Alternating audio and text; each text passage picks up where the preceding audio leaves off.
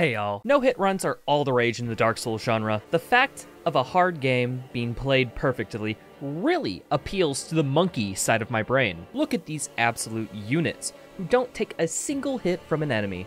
And these gamers sometimes complete whole games, series, and genres arguably without ever getting smacked. Souls no hit run! We did! Doom, as an FPS franchise, has prided itself on being a hard but fair game.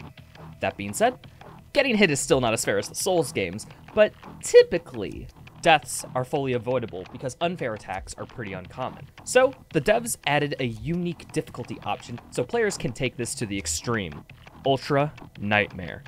To complete this challenge, you have to play through the game on the highest difficulty, but also do it without dying a single time. Because if you die, you'd be sent back to the beginning of the game. Casually, one of the greatest achievements to do in these games is to 100% the game on this difficulty. This is my first gameplay. I. So, with all those tidbits of information, you probably know where this is going. Hi, I'm Raitro with an underscore, and what I did was 100% Ultra Nightmare every modern Doom game back to back to back to back. This includes the Doom 2016 reboot, Doom Eternal, and Doom Eternal's Ancient Gods DLCs. Playing through all these campaigns would take a casual player over 30 hours to beat, but me? I'm not a casual. With years of first person shooter speedrunning experience, I could do all of this in about 6 hours. But that's only accounting for speed, not for doing it deathlessly. But how do I go about setting an accomplishment like this? What strategies did I have to do to come up to accomplish this task? And most important of all, how much of my life did I waste attempting this challenge? That's what this video is all about. I'm gonna go over the whole run, explain why this is FPS's God run, and tell the story of how I conquered this challenge and go over my pain in excruciating detail. Which, I would love to hold you on by the video essayist thread of, oh, did I beat it or did I not? But no, I did it, and I'm too goddamn proud. And yes, this video is a touch on the long side. It's a four game 100% anthology run, so it will take some time to break it down. Feel free to watch it in 15 minute long chunks and then come back later. Timestamps are located in the description. Okay, now let us begin. So, first things first, we have to ask a certain question Has anyone done anything like this before? And the answer is yes. Two people, by my research, have done runs that are approximately equivalent. The first person to complete this was Arrhythmia, who Ultra Nightmared all four campaigns in about 12 hours. An achievement as impressive as his skincare regimen. I mean, look at how, look at the beautiful bald head of his. Do it! That's what I thought. You fucking suck. I'm better than all three of these games. All right. But alas, they were just going for completion of the campaigns and not 100%. So, No, 100% can eat my dick. 100% is boring as fuck. so analyzing this was not the biggest help to me. And the next person who did this was Maynard, who completed the challenge in just under 9 hours in real time. They did get 100% completion on Ultra Nightmare, so they officially get the party hat of the first person to do this challenge. Yes! Yes! Yeah! Gun run, baby! Woo! Oh, shit! To which I'll say, no disrespect to Maynard. The dude deserves all the respect in the world for getting the first completion of this, but I wasn't impressed. A lot of the strategies they did were rudimentary and unoptimal. As well, overall had very messy sections. So, it looks like any strategies they used would not be too insightful for my run either. So, what I decided to do was I would adapt all the strategies I use from speedrunning the campaigns and apply them to this challenge. Because I guess speedrunner brain says that if you can't be the first to complete something, you can sure as heck be the fastest to do it. So, I'm gonna do you all a favor and skip over the preparation phase from here on out. As it was mostly me following the speedrun route for each game, getting a time of each individual campaign that I was happy with, and then making small adjustments for consistency. But starting in August of 2023, I would do attempts about three times a week, leaving days where I couldn't complete a run to practicing sections of the run I did not get to. But what about the run itself? And what was I doing? Well, I guess the short answer is you could just watch the run and figure out for yourself, but this video is more meant as a educated walkthrough where I'll explain everything. So let's not take up any more time, I'll get into the run. We start this with the first Doom game, 2016, which it isn't the first Doom, but you know, when a series has over 2,000 entries, you gotta start somewhere. Welcome to our demon invaded territory known as Mars. For those who don't know, this game is all about arena shooting and approaching fights very carefully. And it also has the worst early game out of every Doom. All early fights have a lot of RNG, are really hard to do optimally, so I gotta make Oh. Yeah, turns out you don't have to do them. Normally, there's this meter in the top right of the screen that tracks combat rating, how many demons you've killed. However, this doesn't show up until the third level, so that means no fights have to be done early on. But how did that boost work? That's what's called a rail boost. I've explained this many times in other vids, so I'll keep it short. Basically, when a player barely misses a jump, the game will give the player enough speed to make the jump to make it feel more fair for our monkey brains. But some certain surfaces, like rails, don't reset the player's speed, allowing us to zoom and skip encounters. And since no fights are tracked, the first two levels are basically a mix of going to grab secrets and getting to the end as fast as possible. And the reason why I'm not spending too much time on it is that this section is very deterministic. It's straightforward. We grab a door through a floor, the only instance of the run, we platform to skip some unneeded walking, we grab collectibles, and then we rail boost. What you see is what you get. Oh, and right at the end of the second level, there is an unskippable cutscene of about three minutes. Riveting gameplay. And now, at the beginning of this next level, combat rating is tracked. I have added a tracker to your helmet's display. We're thrown into my favorite levels of 2016 Foundry through Tower. These levels are random fests for consistency, as we have to rely on enemy AI for some combat strategies, but the game is not at all consistent in that aspect. Most of my UN anthology attempts died in these three levels, and it's not even close. So, while I reset nearly 100 times, let's talk what 100% entails in these games. Doom 2016 requires you to master every weapon and its two modifications, master all 12 runes, and master your suit and gather every other permanent upgrade. Oh, and also pick up over 150 collectibles. So you can see, perhaps the hardest part about this game is routing 100%, as there are plenty mastery challenges that you have to complete in order to, well, get 100%. But luckily, the nerds in the community have routed the most optimal places to master each dumb thing and what order. So a big part of my task while running it is to keep in mind the progression in comparison to what is ideal. If I fall behind on a mastery due to some bullshit, I had to be able to route in where to make up for it later. Back to Foundry, despite it not having any tough demons, we have to deal with a lot of combat here. A big trick you'll see in both games is quick swapping. Basically, each weapon has a cooldown, like the shotgun, which you have to pump in between shots. But why pump the shotgun when you can, I don't know, say, swap to another weapon and fire that one? The best part about it is that the shotgun will pump while it's unequipped, meaning that I can fire it immediately when I swap back to it. This concept is applicable to every gun in the game to some extent, so I'll be swapping between all of them for various purposes, like, I don't know, killing things quickly. And now that Pastro has finally gotten past Foundry, we do something a little unconventional.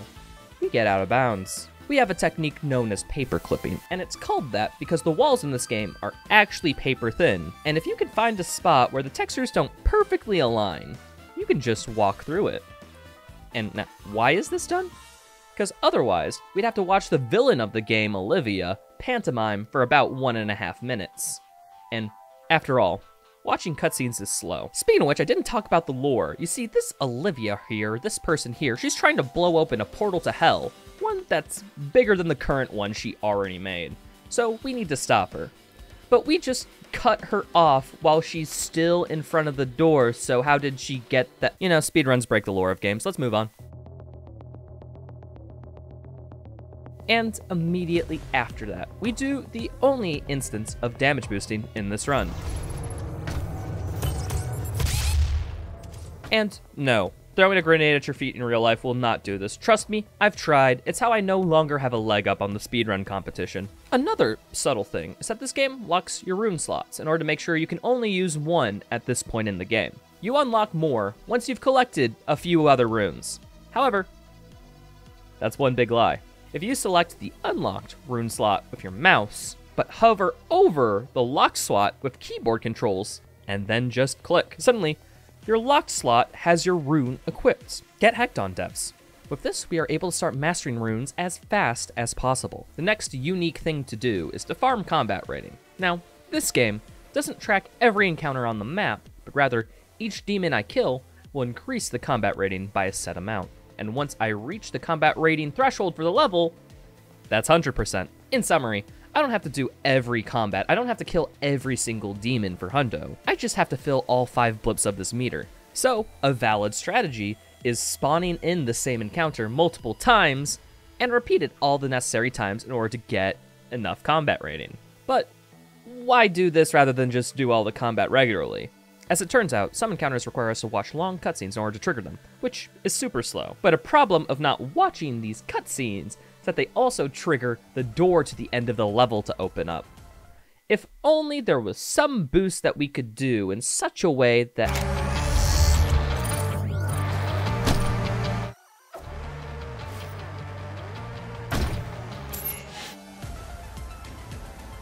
The dangerous nature of these levels is exemplified here. Say hi to the Revenants. The game expects us to have some health upgrades, so we don't instantly get death when we get hit by the rocket guys. But over the course of the run, we spec Doom Guy into a glass cannon, as we only picked up ammo upgrades this entire time. And you can die instantly here. A lot. So, continuing this level, we pick up the double jump, grab our last ammo upgrade, and Excuse me! Why are you shooting your gun so much? You need that for the dams. out of all my time speedrunning this game, this is by far the most common question I've been asked about in the chat. So, allow me to explain. There are two runes, Vacuum and Ammo Boost, that require us to pick up loot 200 and 500 times respectively in order to master them. A common loot in this game is ammo, and you cannot pick up ammo if you are full on ammo, thus my habit of lighting up every surface with hot molten lead. So I can pick up all these shinies for optimal rune mastery later. To which the game needs to get back at me for ruining the precious environments by giving me hell for the rest of the level, literally. Now when doing optimal strats, I have to skip an encounter, which leaves me very low on combat rating. This is called Banana Skip, because the strat we jump on looks like a banana. We're very creative in the Doom community, which I would tell you more, but let's split to the secret level. We're not going to it just yet, but um, trust me, I'll grab it at some point, I'm sure. And we go up to Olivia, where This is not the end! It's only the beginning! Alright, we're 40 minutes into this game, Olivia, but whatever. Now, this is the last fight of the level, and we don't have much combat rating. And this encounter, how it's structured, is that it ends after a certain amount of time. Thus, we need to kill enemies to get 100%. Normally, it would be fine, but skipping that last encounter makes me have to kill things very quickly, making it harder. But what makes it the hardest is that we also gotta grab that secret level. Now, when I hear the final timer begin its countdown, we grab an invincibility power up to avoid dying from fall damage and this big ass laser, and then we drop all the way down to get to the secret level, just in time for the tower to explode and send us into hell.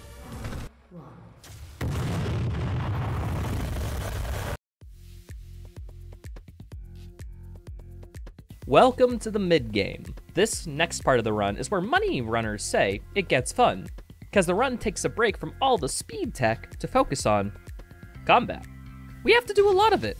In this level, we gain full access to our three most broken weapons in the game the rocket launcher, the super shotgun, and the Gauss rifle. All combat from here on out focuses on the effectiveness of these three weapons, of which their weapon mods are what makes them busted. Rocket Launcher's remote detonation mastery gives us a second explosion, meaning each rocket does the work of two separate shots. Super Shotgun has the double shot, meaning that we can now shoot twice before reloading, making it one of the highest burst damage sources. Unfortunately, we only just started working on the mastery in Kadingir, so we'll see the outcome of the work of mastering this in about a level or two. And the Gauss Cannon has Siege Mode, a high damage base drop that can kill most enemies in one shot. The Siege Mode shot also has a bug with it that allows us to fire it instantly when swapping to the Gauss Cannon. So we could skip its relatively long charge up time, making all the game devs hate us how much we're ignoring balance. It's very easy to do. All you gotta do is swap to the Gauss Cannon while holding down right click, and then press left click. Yeah, it's so easy, some people do it on accident. And with these three weapons, we are unstoppable. Well, until we aren't.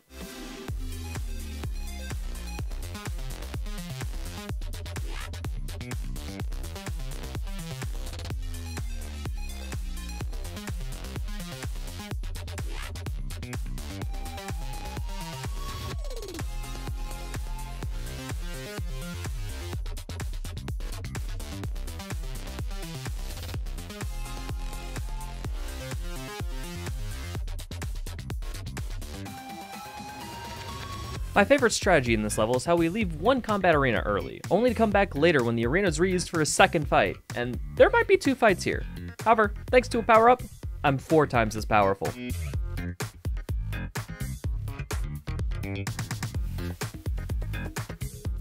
And also, fun facts, this level has so much combat rating that we could just full on skip arena and still have plenty to finish the level and get back to Mars.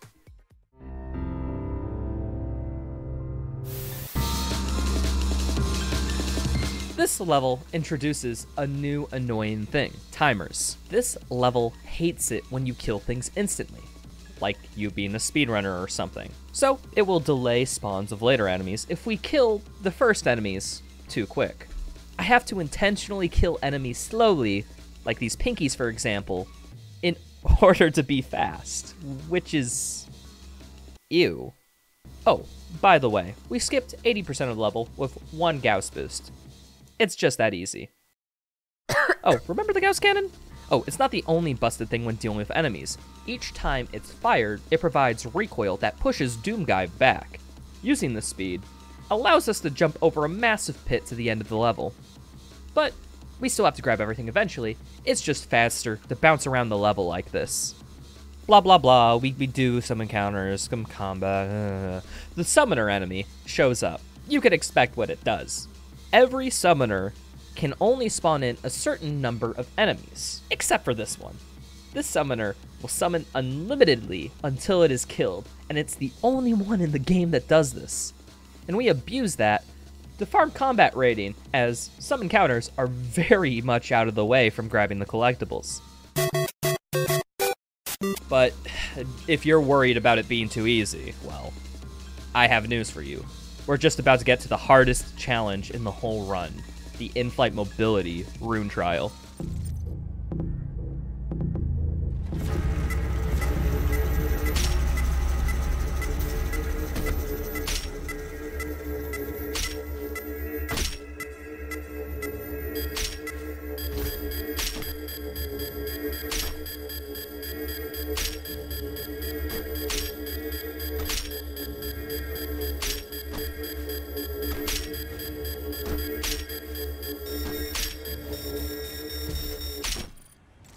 The hardest challenge to stay awake during Ayo combat combat combat. At least we get to the train level now. I'm I mean the train cutscene. Yeah, I'm disappointed too. And we're in the last level of the mid game, the Armed Response Coalition. This level is tough. The first and last encounter of this level are so deadly that it caused a lot of runs to end here. It's personally, for me, the hardest level in the run to survive. But after the first encounter, What's more deadly is the out of bounds. Before we can get a secret weapon, which you all may be waiting for, we have to talk to Mecha Jesus, who has a plan on how to stop the demonic invasion now that it's been blown into the beginning of time. He says that maybe a key to stopping it could be in Olivia's research lab, and because we are the Doom Guy, we might be able to discover something Hayden and the others just couldn't. Him explaining this is the single longest cutscene in the game. It lasts almost three minutes. So obviously, we skip it by paperclipping right before the cutscene. But the process of skipping it, it puts us out of bounds right next to a secret level. So just makes sense to grab that sweet, sweet secret to skip pulling the lever and traveling to it later.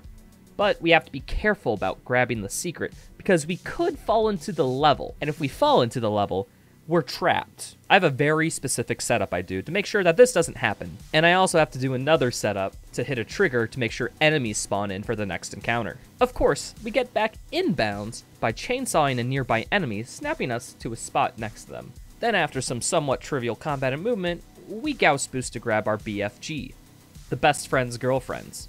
This girlfriend, when used effectively, is an entire room clear.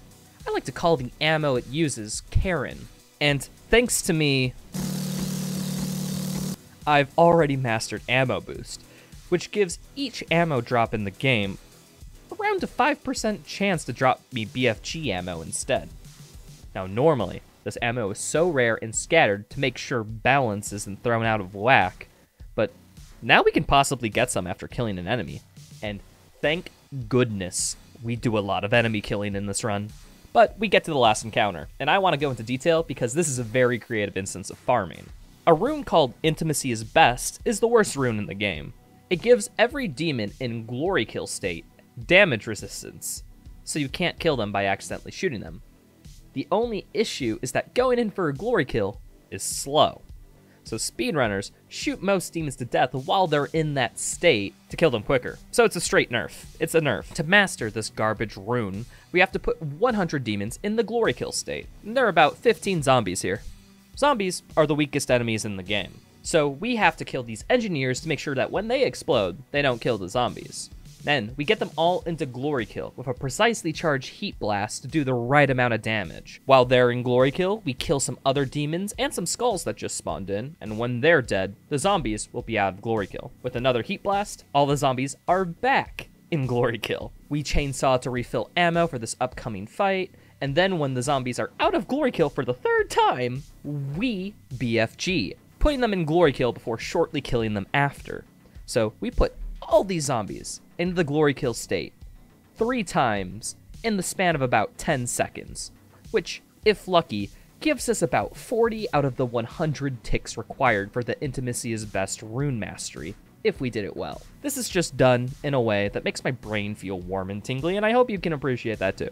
But after, the fight is not easy. If I'm slow on killing some enemies in this last encounter, I will not have enough combat rating to get 100% and thus have to restart the whole run.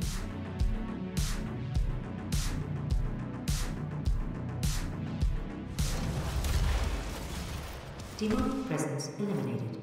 Lockdown disengaged. Many, many runs have ended here because I was low on. Lockdown in effect. JK, not dead, lol. Welcome to Lazarus, where this level is nothing too different from what we've seen before combat, working on masteries, and combat. I love this level. It's probably my favorite in the speedrun, because it has long hallways that make bunny hopping easy. Uh, I didn't explain that, let's get into it. This game has it that jumping right when you hit the ground will conserve your speed from before the jump.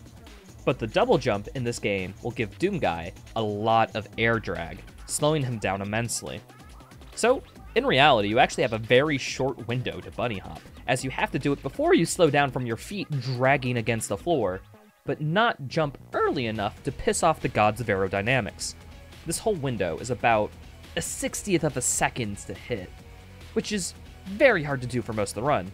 However, in Lazarus, we are dealing with really flat ground, which means it's very easy to tell when I'm hitting the ground as the timing is perfectly consistent. And it just, mm, it feels so satisfying to pull some of this movement off. At the halfway point of the level, we get to an interesting arena where once we complete the fight, we can open a pathway to the elevator. However, you could just activate this pathway without completing the fight. We need to kill some of the encounter in order to have enough combat rating for level, but we don't have to do all of it. It's just kind of funny. After the elevator, we get to Olivia's office, where upon gazing upon an ancient slab, it lets us know our next goal to obtain an ancient artifact known as the Crucible, which might be relevant for the rest of the run. But that's boring. You know what's riveting? Intimacy is best.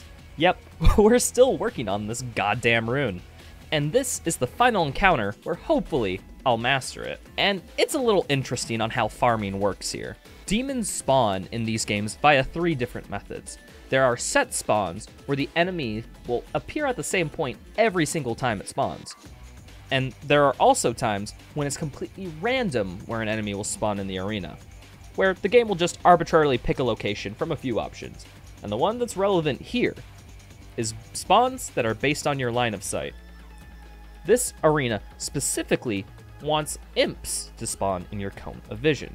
So we look in between these two pillars and stand as close to the slab as possible. This will cause five imps to consistently spawn directly in front of us, to where if we charge three pips in the heat blasts, we will instantly put them in glory kill, giving us progression for intimacy is best. And then we kill them all with a siege mode shot, farming siege mode shots mastery as well. And after farming more than someone's thoughts and prayers posts on Twitter, we pick up our final rune and do the final fight of the level. But we're not done yet. We get to the first boss fight of this game, the Cyber Demon, the perfect fusion between demonic creatures and technology. And I'm just wondering, oh god, whatever will I.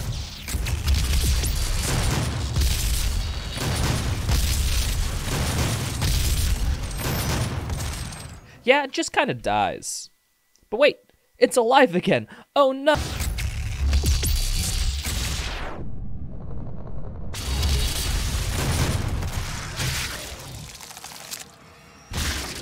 Yeah, boss fights are a joke in this game thanks to the BFG's hidden mechanics.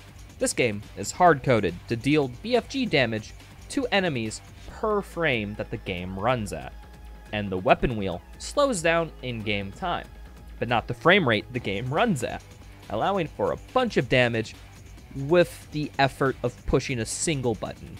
And before a YouTube commenter says, uh, just fight the boss normally, uh, this ruins the fun, this BFG time slow strategy saves 2 seconds over doing this fight glitchless. So go to hell, like I am right now.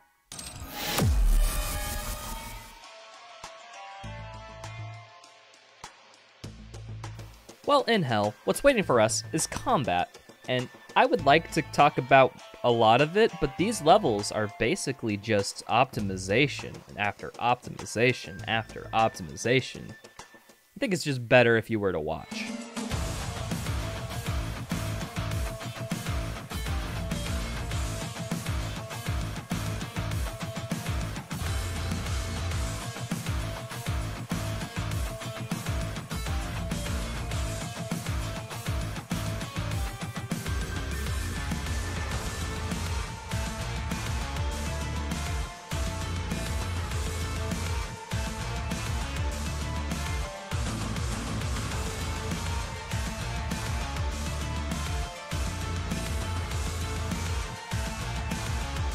Midway through, there are two very important farming sessions here.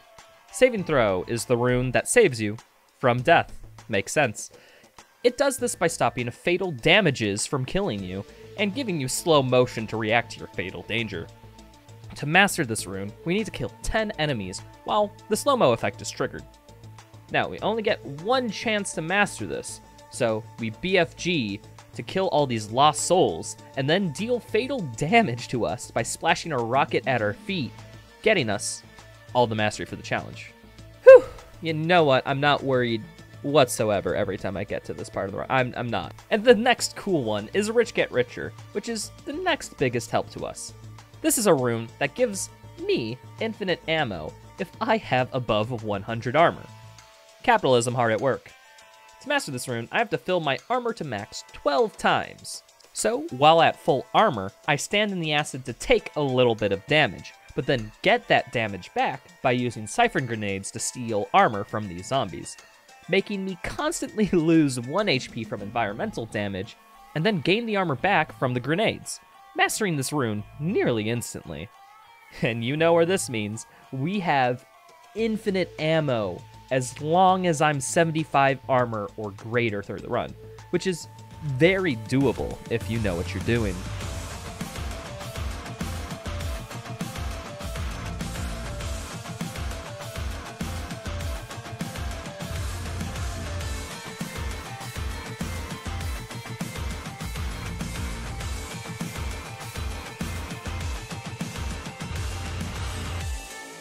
Having fought our way through hell for this, the second boss, the Hell Guards. These demons are super powerful guards of hidden artifacts and locations of importance.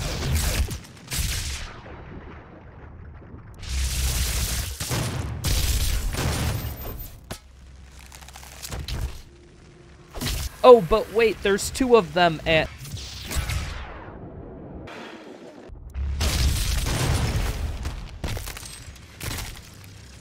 As I said, a little bit of a joke.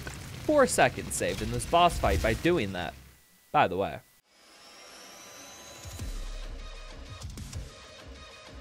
And we're at the home stretch where we get back to Mars in order to, well, get back to Hell. And it starts with the last out of bounds of the run. This skip is super scary, as we have to jump all around the facility to grab a secret, and then we have to jump back inbounds to trigger two encounters at one time. Welcome to the late game, where Ammo Boost shows its overpoweredness, quite apparently. But we still have one of the most difficult sections of the run. We have to kill three demons with one grenade, and there is only one optimal spot to do it in this level. Ah, phew. I've I've lost I've lost too many runs to that. Anyways.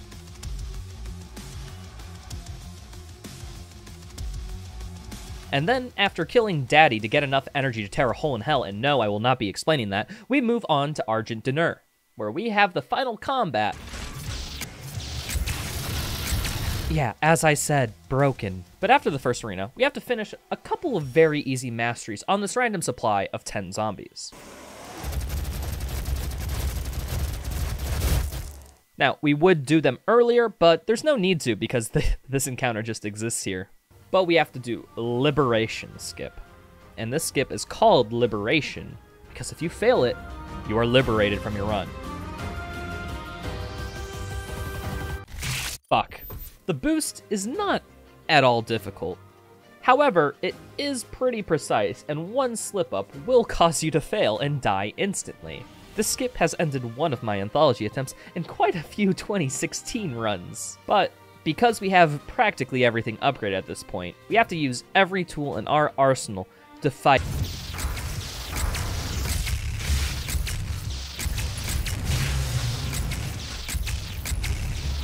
The only barrier to stop us from completing the game is the last challenge. Kill two barons with one shot. Barons are one of the biggest, most HP tanky enemies in the game, and the BFG does not count towards this challenge. So, while I wait for a specific part of the literal last wave of enemies in the game, I grab a 4 damage power up, and... Yeah, honestly, Tony Hawk has nothing on me. With that done, we just have to stab the final Hell Ghost and get to the final boss, Olivia herself. Except no, she's actually the spider mastermind.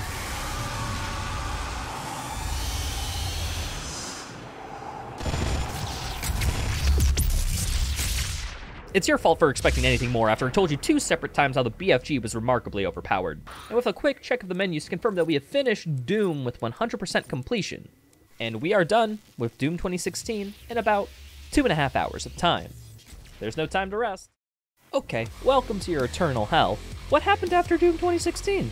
Quit asking questions, you nerd. Now, at this stage, you might be asking how many runs have made it to Eternal, and the answer is three, which seems like a relatively small amount given I've done a total of 98 attempts before my final run.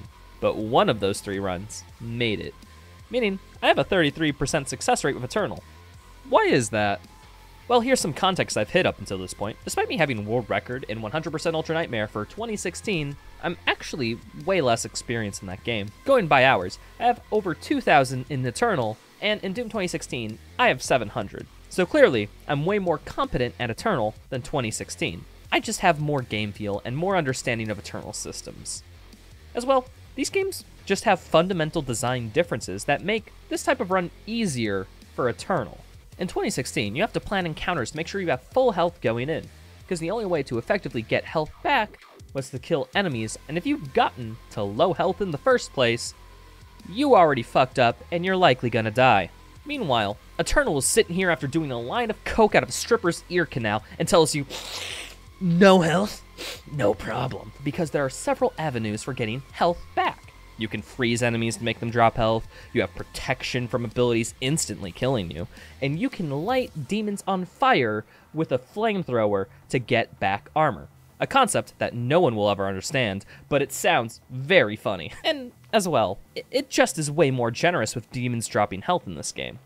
So suffice it to say, it's all downhill from here. Lore wise, we need to stop the demonic invasion of Earth, where Mars was unable to contain it. In order to do that, we need to kill three Hell Priests, specific demons that are vital to the ritual keeping the connection between Hell and Earth open.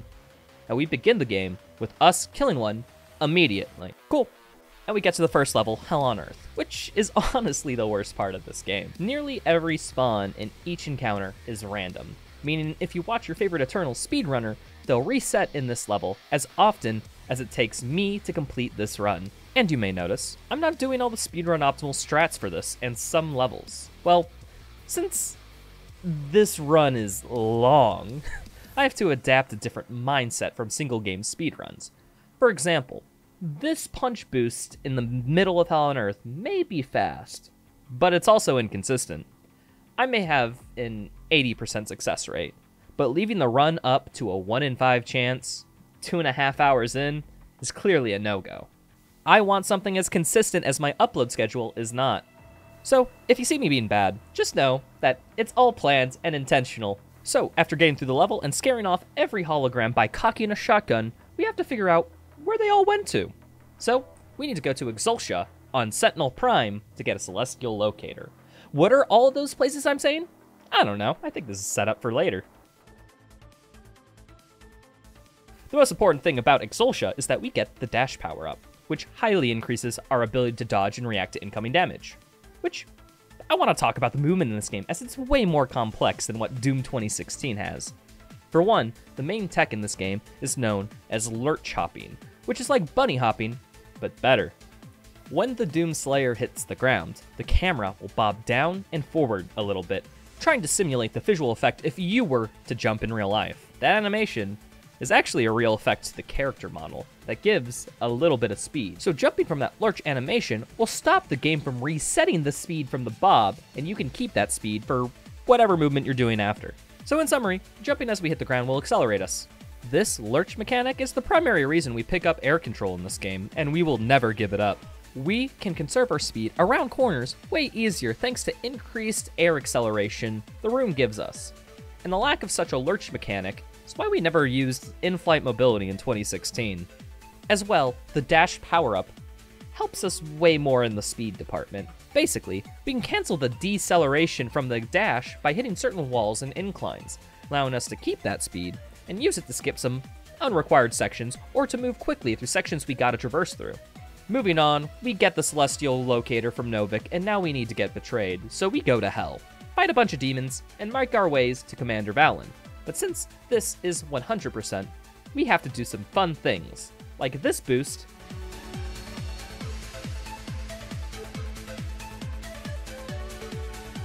and this Slayer Gate. Slayer Gates are just hard optional encounters, and this one has a weird quirk where you can end it early. This because the clear condition is all enemies are dead.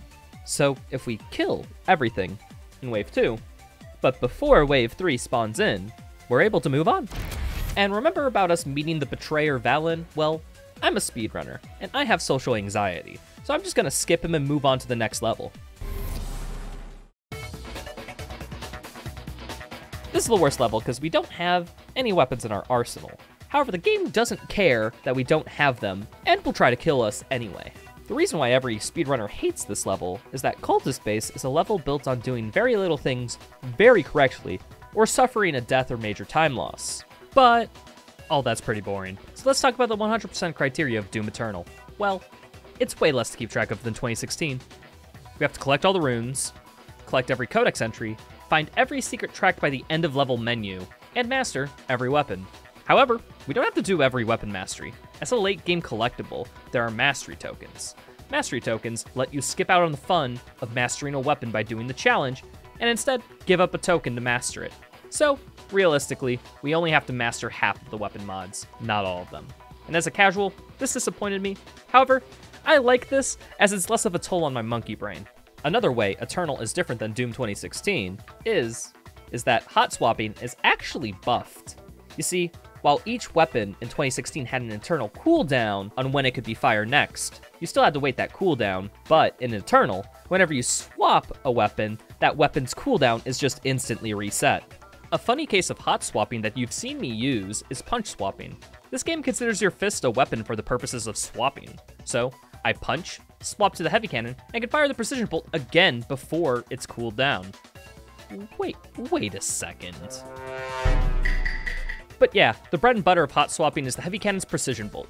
This weapon has the fastest DPS when you factor in swap speed, so most of the time the alpha rotation of this game is swapping between the PB and some other weapon. Oh, but after all this pain of Cultist Base, we get onto the train level. Yes! Woo! The train level lasts 10 seconds. Fucking hell, why, do I, why am I... Regardless, we're on Doom Hunter base now, and I want to touch on one aspect you don't likely hear about this game. Its bugginess. Alright, alright, alright, that's way too broad. Let's talk about instead frame rate bugs. Spawn-in animations of demons are tied to frame rate.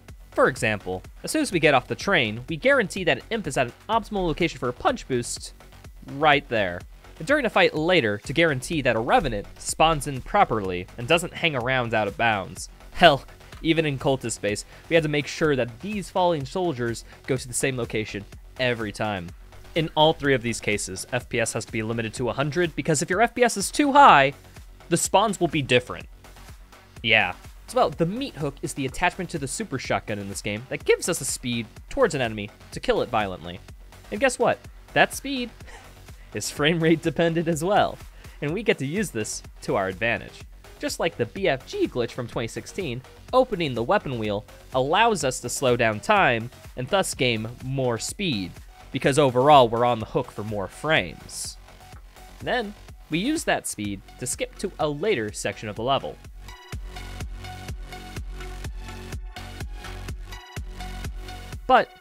You still have to grab things in the middle of the level, so you... All this spicy, spicy movement for a total of about 8 seconds of time save. And with all that yeeting, we get to our first boss fight, the Doom Hunter. Bosses in Eternal, well, at least this boss, aren't a pushover.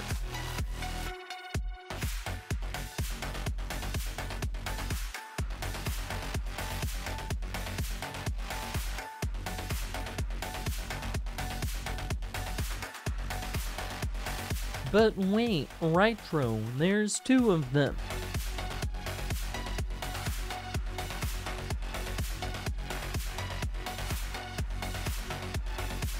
Yeah, just do the same strategy, just one at a time. Well, at least it wasn't literally hitting two buttons and standing still, though. And well, after being such a good boy for killing two of the Hell Priests, we get a little treat called the Ballista. Wait, this is just a Gauss cannon. They just called it the Ballista for no reason, and they nerfed the goddamn bass drop. Game's literally unplayable. Well, we get to put that to use in the next level, Super Gore Nest, which, in Doom Eternal, is the king of combat optimization. And if you don't believe it, well, just watch.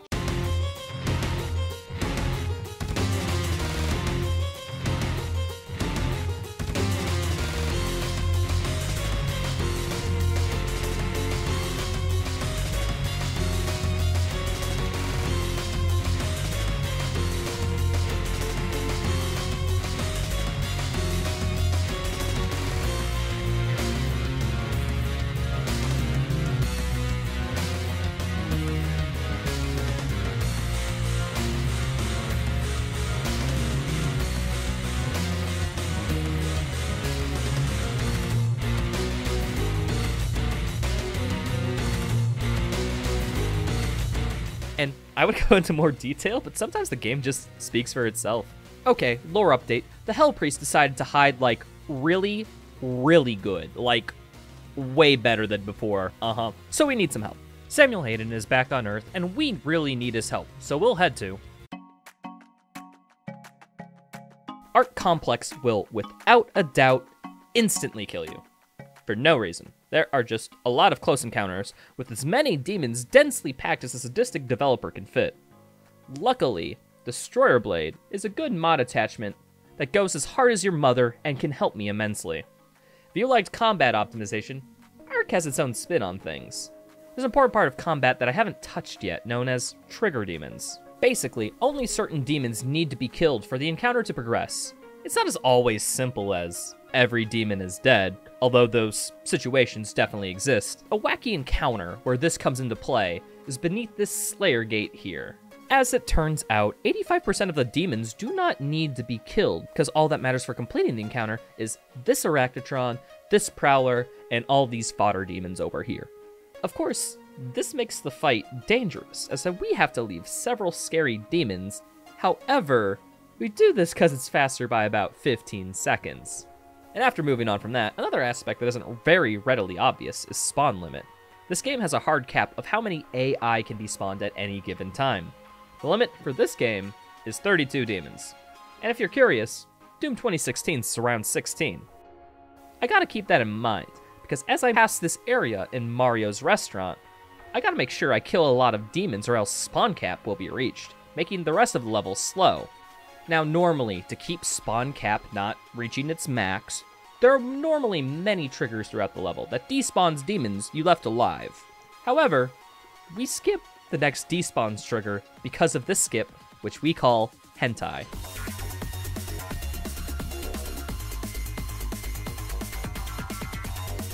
And right at the end of the level, we have to deal with the Marauder. This demon, we can't just shoot. We have to play red light, green light with it.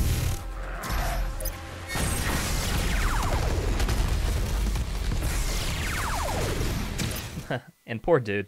He didn't even know that was a children's game. And now, the portal out of here just spawned. So... Wait, wait, wait, wait, wait, wait, wait. We gotta grab the rest of the stuff in the level. But thankfully, us skipping to the end unlocks a neat feature.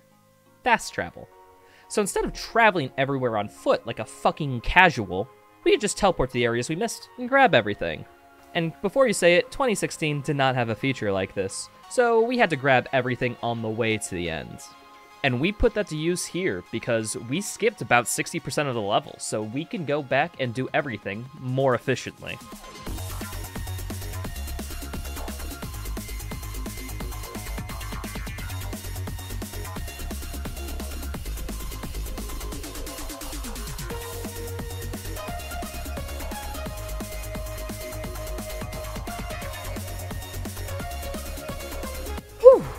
That level is densely packed with stuff. But now that we got Hayden here, he probably has a lot of stuff to say to us. I mean, after all, he betrayed us at the end of the last game, and we have a lot of unresolved tension. Final priest is hiding in Sentinel Prime. Oh, never mind, we're chill, I guess. So it turns out, in order to kill that Hell Priest, we gotta go back to Doom 2016. Luckily, for that game, I'm bringing a present.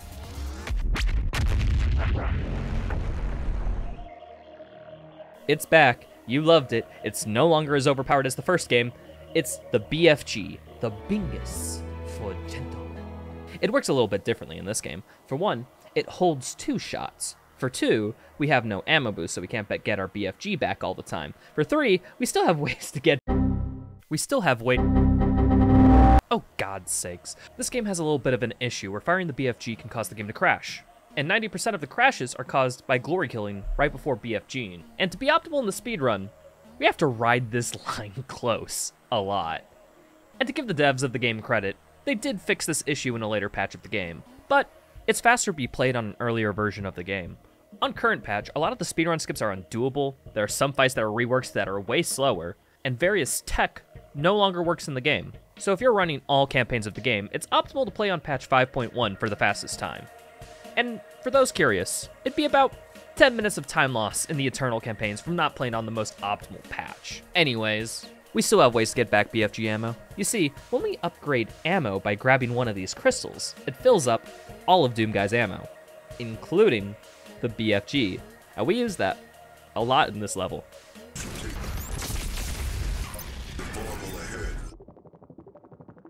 But now here we are at Sentinel Prime. This is the Sentinel homeworld, and we needed to blow a hell into the center of Mars to get here.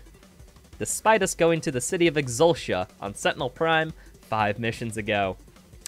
Good writing. Here is where the third Hell Priest is, and we have to kill him and his guardian. Now, this man may be Goat with the shield, but Gladiator, more like Badiator.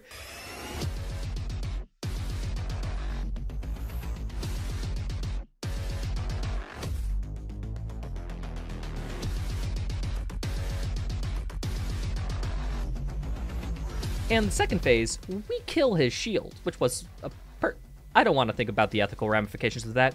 He uses the opportunity to reclass from a fighter to a barbarian.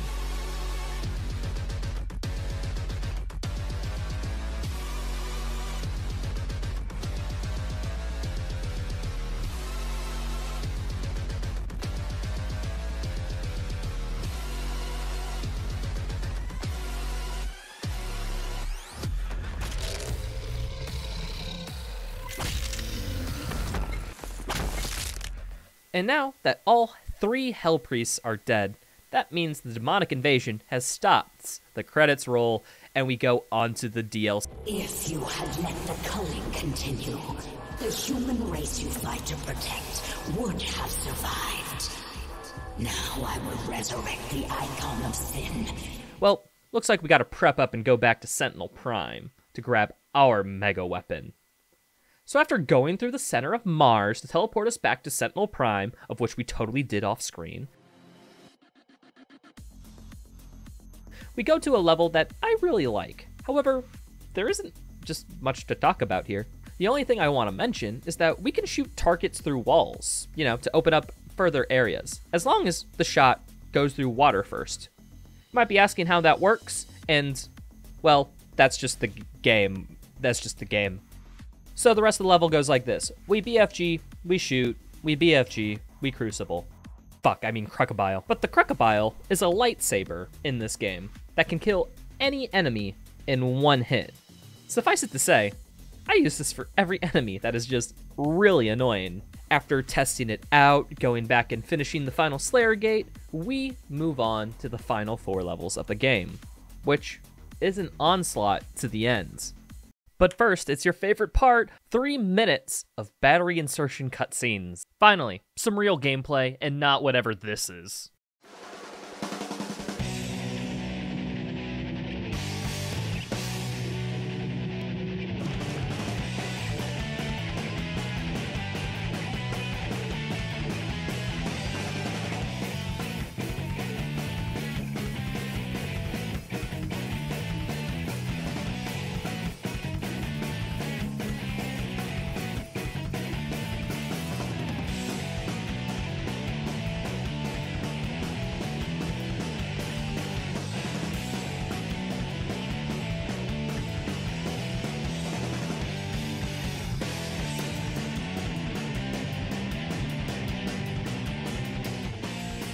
The only thing that holds me back at this section is the glory kill challenges. So there are level challenges in this game, much like Doom 2016. I just haven't mentioned most of them because they're pretty easy. Nekravol 1 and 2 have exceptions. There are a total of three glory kill challenges. This is hard to do for several reasons. In Nekravol Part 2, Electric Boogaloo, the Archvile and the Tyrant Glory Kill challenges can only be attempted once. There is no other Archvile or Tyrant in the whole level. Sometimes, the demon could just not get into a Glory Kill state despite having the HP necessary for it. And this has to do with some weird animation overlapping where the Glory Kill state's impossible, which I don't quite understand, but heh, there's some nerds for it. So, the odds for completing a challenge when getting to a run are lower than 100%, which isn't a good sign.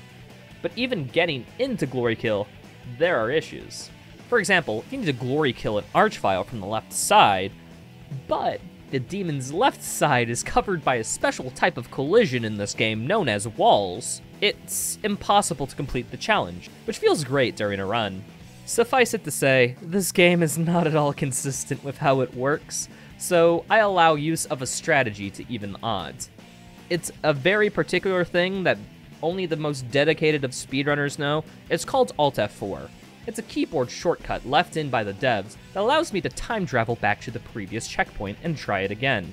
You only have to deal with the side effect that this closes the game. But after getting the Archvile, all we have to do is do the same thing for the Tyrant, where we get the most value from a single BFG shot in the run.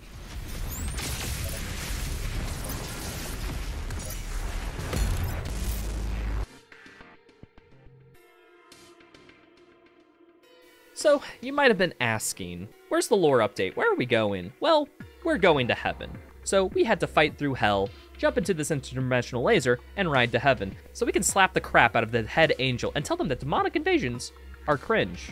And now that we're in the section of heaven known as Urdak, I would explain all the movement stuff, the combat optimizations, and more, but I've made an entire video breaking down this level, so I'd recommend you just watch that. Go there, there's 40 minutes if you want to, you know, get all the juicy details, but here are the highlights. There's combat, combat, rings, yeet to another arena, send one BFG round to kill two arenas at once, yeet into another arena, combat, yeet out of the arena, hit a button, return to the arena, yeet out of that arena for a second time, and then finish the arena with the best precise shot in the whole game. Oh, also boss fight, and this boss fight is fucking tricky. There are five phases to it, and each phase you need to send a total of six rockets at the Maker and then give her a smack. And to make matters worse, in order to do this, we only have enemies scattered throughout the arena that can instantly refill our health and ammo. However, so now that we've met our maker, we still need to take out their super secret mega weapon, and we still have one more atrocity to commit. This level is not too complicated, and it's what people love about this game. It's just combat gauntlet after combat gauntlet after combat gauntlet.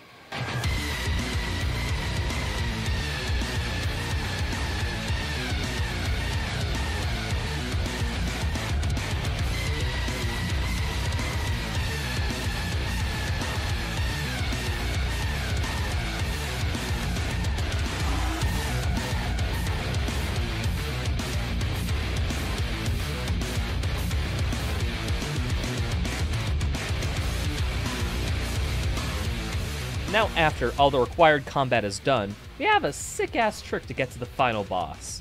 We BFG this Archvile from a precise spot where we set up for a Yeet Hook. After waiting for us to be given a checkpoint by the indicator in the top right, we dash back to spawn in a Revenant, Yeet Hook onto it, and right when we hit an invisible wall, a cutscene plays from the encounter ending that despawns the invisible wall. And since it's no longer there, we get to keep all that momentum right to the end of the level. And here we are. Heaven's Mega Weapon, the Icon of Sin. The final boss fight of Doom Eternal. So we have a combat arena with many demons, and we have to start attacks from the... Finish this fight.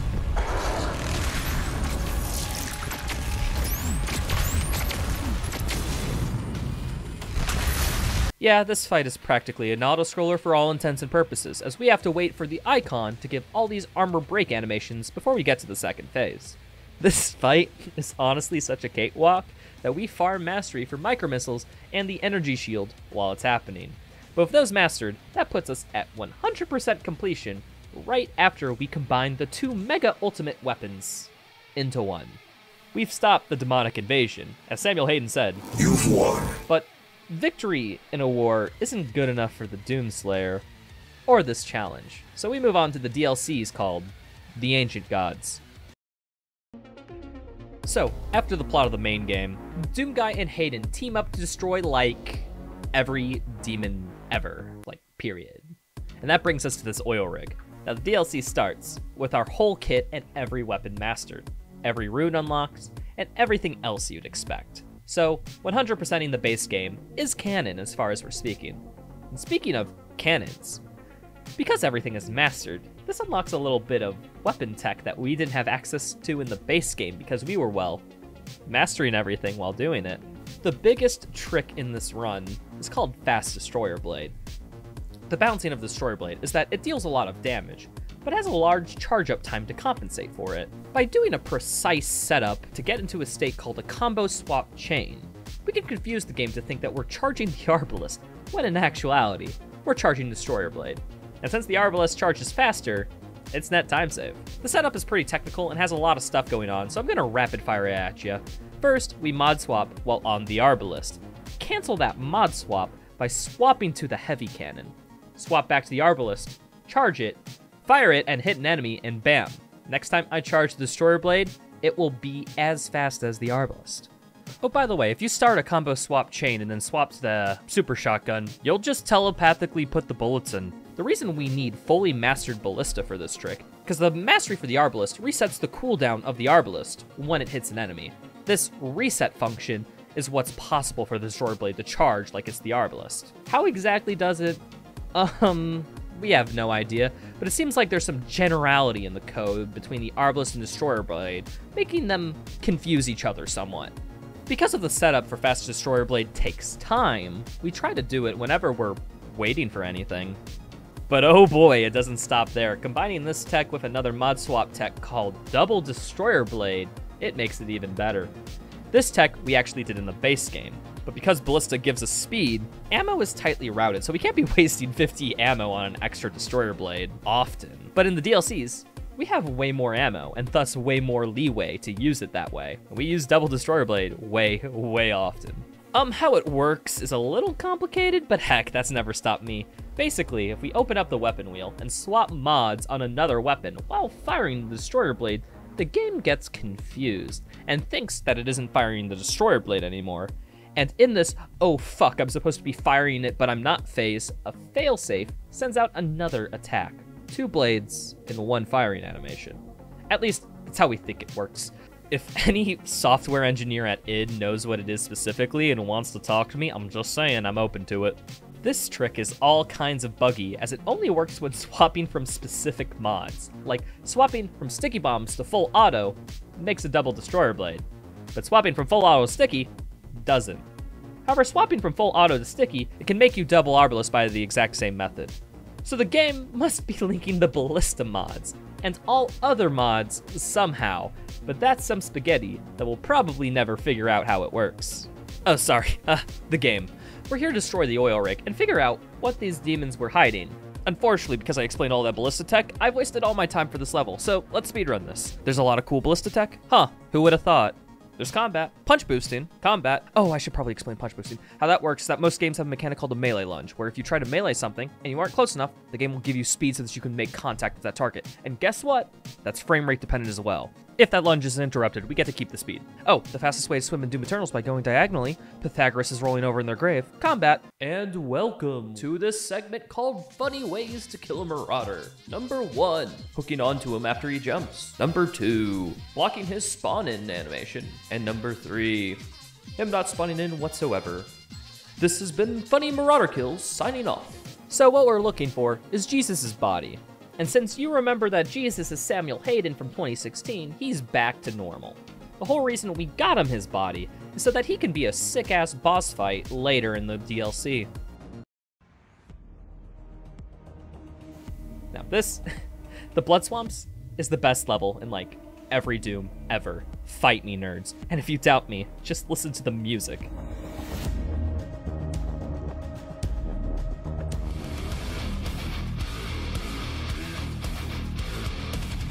But that's not even like the beginning. The best part about its level is its insane combat. There are no Slayer gates in this level. However, you'd be forgiven for thinking that because a couple of these fights go so, so hard.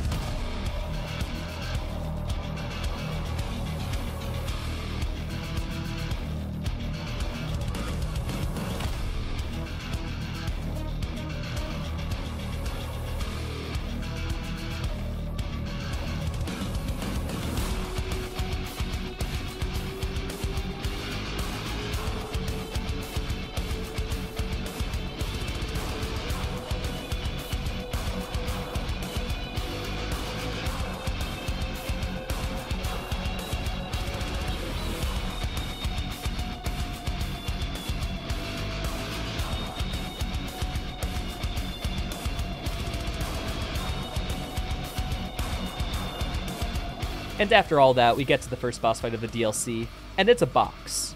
Well, because I don't, I don't know. Geometry is a demon too.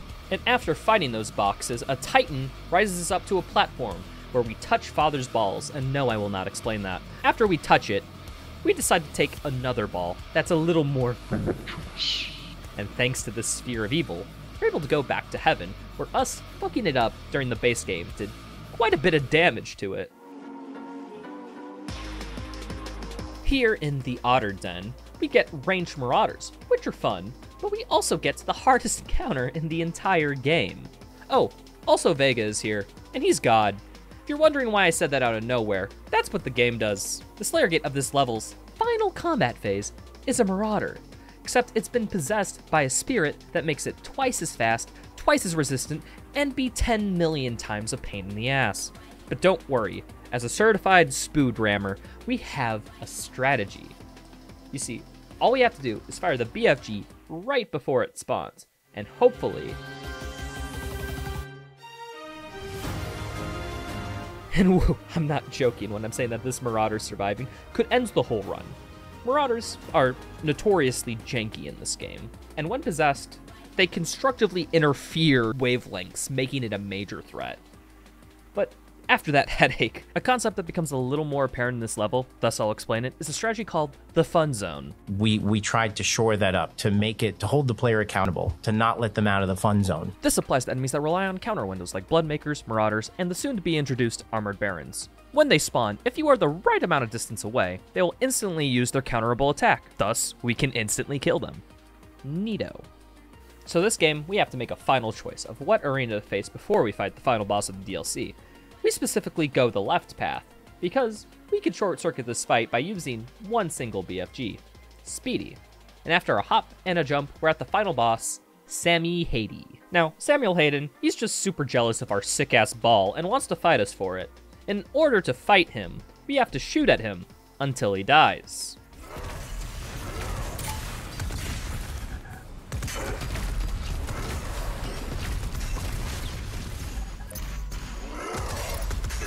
And when he shields himself, he spawns in demons that we need to destroy spirits. Why can an angel control demons from hell out of nowhere? Shut up, nerd. Quit thinking about the plot, sheesh. Luckily, if we BFG right before the cutscene where he spawns in the demons, we actually kill the enemies before the spirits possess them.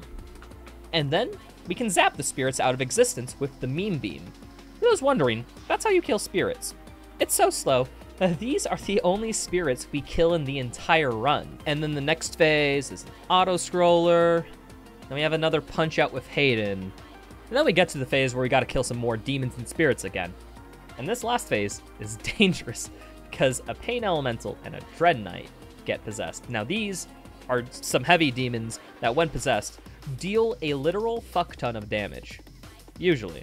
What we do is we charge the Destroyer Blade before the cutscene and hit the Pain Elemental as it spawns so that it's at low health before it gets possessed.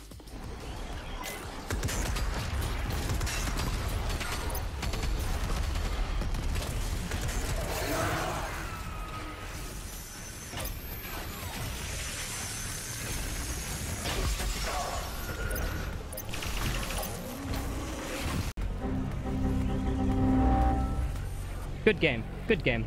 But if you can't do the Destroyer Blade strategy or get unlucky where the game crashes mid-encounter, the strategy is to lock on the Pain Elemental and then bombard it with Micro Missiles. This will kill any Lost Souls the Pain Elemental throws at us, allowing us to have just free damage, although being a little slower. And then we just lock on the Dread Knight until it dies, killing the last spirit and ending the fight.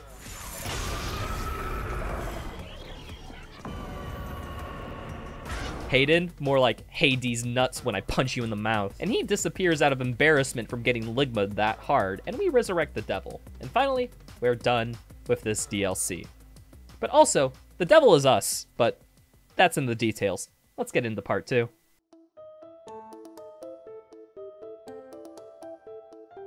It's our final trip to Sentinel Prime, and it's also the best level in terms of speedrunning. There are cool combat strategies, unique movement, and some pretty cool sequence breaks, and they all blend together. On top of it all we get a new tool to play with, the hammer. This tool allows us to restack health, armor, and ammo, while also stunning every demon around us. It's broken, but it's also super fun. A funny thing is that we also get introduced to the Stone Imps, which are very annoying demons that we're meant to use full auto on to kill. But a bash from the energy shield just kills them instantly. So we do that the whole time. But the cool thing about this level is that we get the only use of this tech in the whole gosh darn six hour run. Energy shield vacation. Basically, punching out of an energy shield lets us pull up another weapon, with the shield still active. And then we get to use this to set up a destroyer blade, double destroyer blade, and now this whole encounter is dead. And now that the corpses of enemies lie in our wake, we can grab this super special crystal and get back to a good planet. So it turns out, demons are still on Earth. Looks like us stopping the invasion from the base game meant fucking nothing. Regardless, there's a super special teleporter here that we need to fight our way to, and the hammer is really, really useful for that. Well, in this encounter, we can stunlock the whole encounter. The only instance of spawn blocking in the run happens in this level. Practically, if the spawn point of an enemy is occupied by a Slayer or another AI, the enemy just doesn't spawn in. And now, now that we're at the teleporter, for the final time, we can go to the place that Kip would always tell me to go in high school. Fuck you, Kip. Going there myself.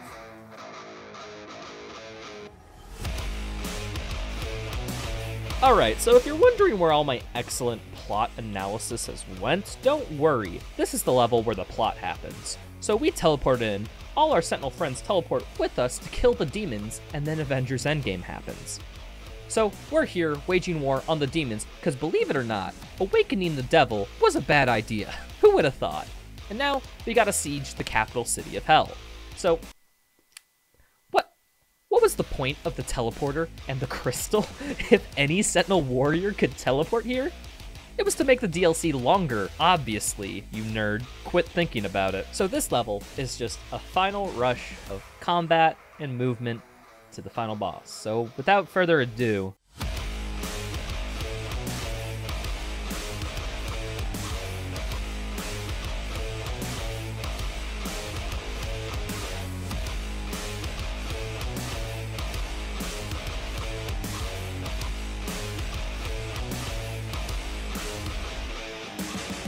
when we get into the city, we're actually on a timer. The enemies here do not despawn, and we need these spawns to be open for big arenas later. So we immediately hook off a pain elemental to get out of here ASAP. And you have to be as fast as possible or else bad things can happen. But luckily, you get to have fun right after. You see, these demonic troopers, native to Immora, have literally zero HP. So if we dash into them with the energy shield, we lose our dash state, but we get to keep our speed and Yippee! And we get to the final encounter, where... Just kidding. What actually happened was that the game got into an uncontinuable state called a softlock. For those wondering specifics, this encounter can softlock if you are close to spawn limit, which is exactly what happened. Luckily, Alt F4ing fixes the spawn limit issue. Anyways, here's how the encounter is supposed to look like.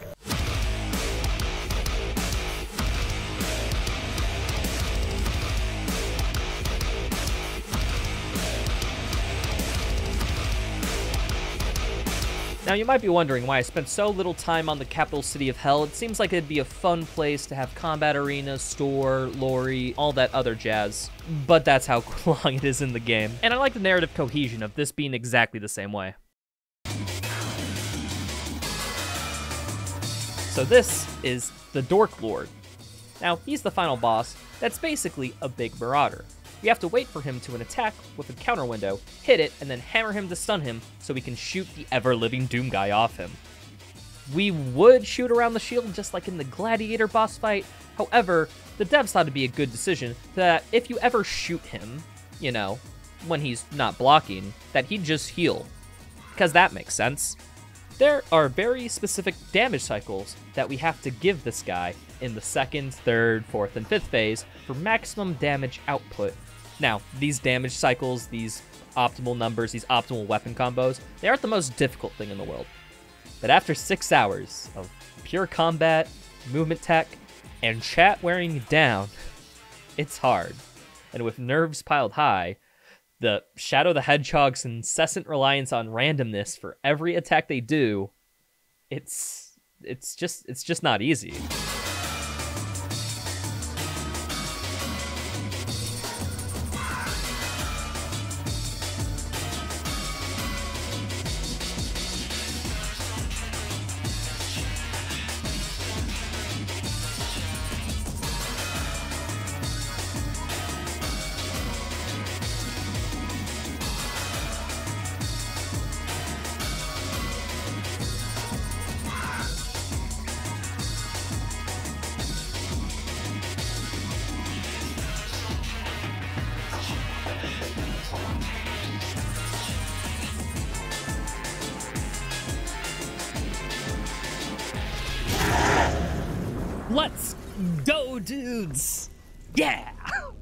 2016, Doom Eternal, Ancient Gods 1, Ancient Gods 2, 100% Ultra Nightmare, back to back to back, single segment.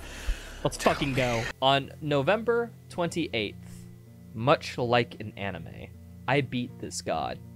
If you know anything worth your salt, you know, I typically stream with a camera.